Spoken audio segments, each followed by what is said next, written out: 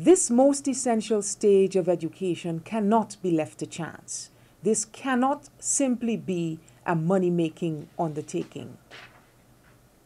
Daycare providers must be serious about the service they provide and must realize that the potential for failure or greatness lies in their hands. I encourage early childhood providers to build their institutions on a good reputation. The proof of the pie is always in the eating.